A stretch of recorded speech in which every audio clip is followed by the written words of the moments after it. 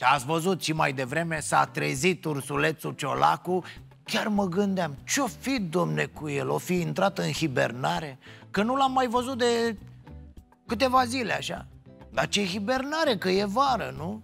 Ca să nu mai spun că până la hibernare Ciolacu este într-o permanentă stare de habar n-are Toată lumea vorbește că avem o scădere demografică. Nu vom putea crește cu alocații, numai cu alocații sau România trebuie să-și dezvolte serviciile ca oamenii să fie încurajați să aibă mai mulți copii. After school-uri, grădinițe, creșe, numai așa vom putea intra într-o normalitate. Genial, ca de obicei, domnul Marcel, trebuie să recunosc.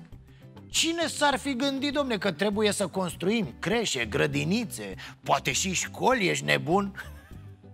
Nu știu, efectiv nu știu ce ne-am fi făcut fără ursulețul habar n-am. Ă, Nenea Marcel, vedeți că vă caută anii 90 Da, să le dați ideile înapoi. Dezolant, pur și simplu dezolant. Dita mai omul, premierul neoficial al României Să-ți spună în anul 2022 că, domnule, ar cam trebui să intrăm și noi în normalitate. Eu mă bucur că în continuare Partidul Social Democrat continuă să fixeze ora la ceas și mai nou mă bucur că am evoluat. A, ok, și cât e ceasul? 1900 toamna? 1900 toamna și ceva? A evoluat, mă, a evoluat, Nea Marcel Nu știu voi, dar eu încă mă îngrozesc când îi văd pe acești întârziați Teoretic, elevii din învățământul primar ar fi trebuit să primească un corn și o cutie cu lapte, însă, deși anul școlar se apropie de final, în peste o mie de școli nu s-a întâmplat asta. Cei din Ministerul Educației dau vina pe autoritățile locale sau județene. Nici programul pilot O masă caldă nu a funcționat cum ar fi trebuit. E, n-are nimic, domne, lasă, că la anul nu se mai întâmplă, da Și apoi soluția e foarte simplă în cazul ăsta Desființăm cele o mie de școli în care n-a funcționat programul Logic, nu? Mai bine tag naiba, ăștia ar fi în stare să o facă și basta Doamne, ce oameni! Efectiv nu poți să pui nicio bază în ei, nu vedeți?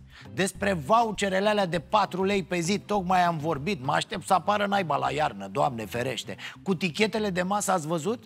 Era Budi la televizor, l-a abordat o domnișoară Domne, ați promis că de la 1 iunie se mărește valoarea tichetelor de masă N-ați mărit valoarea La care Budi Guvernul nu a uitat să implementeze măsura, guvernul este în implementarea măsurii, suntem în dinamica activităților.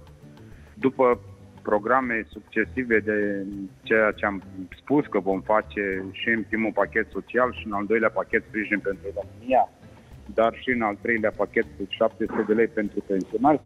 Doamne, doamne, ce prosteală! Uite, eu nu sunt adeptul agresivității când vine vorba de relația reporter-intervievat Bă, da, unii merită să le dai cu microfonul în cap. Răspunde-mă la ce te-am întrebat.